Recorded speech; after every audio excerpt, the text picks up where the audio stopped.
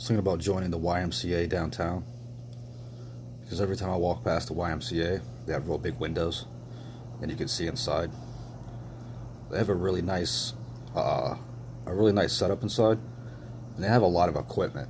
Like, they have really expensive looking equipment. It looks like a, a really nice YMCA. Um, and sometimes YMCA's have like, like spa stuff and uh, all sorts of contraptions you can use other than just exercise equipment. They have a lot of stuff in there. I don't know how much a a a monthly membership is, but I might get one. Um, just for health reasons and use some of the spa equipment.